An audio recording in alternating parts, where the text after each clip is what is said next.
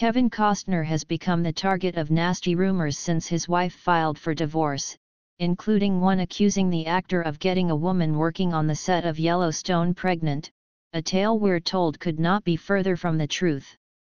Sources close to Costner say the latest bit of gossip surrounding the star is total BS, and has been baselessly circulating online. It's unclear who started the rumor, or even who Costner allegedly got pregnant, but the fake story has been buzzing on social media since his wife, Christine, filed for divorce Monday. One Twitter user wrote, I wonder now, if the drama surrounding Kevin Costner and Yellowstone scheduling, was due to the rumor of him potentially getting someone on set pregnant. Another said, so it wasn't Bentley who got a girl pregnant on the Yellowstone set.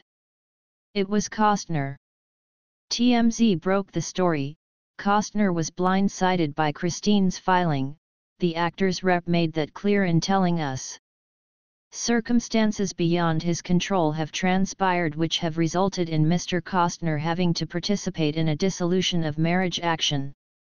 We're told Kevin had no prior warning Christine was filing to end their 18-year marriage, and he's still in the dark. In her divorce docs, Christine lists the date of separation as last month they got hitched back in 2004. Interesting, since sources say Kevin had no inkling the marriage was ending. Costner filed a response to the divorce petition in which the prenup is referenced requiring Christine to vacate Kevin's three homes. The two have three kids together and both Kevin and Christine are seeking joint custody.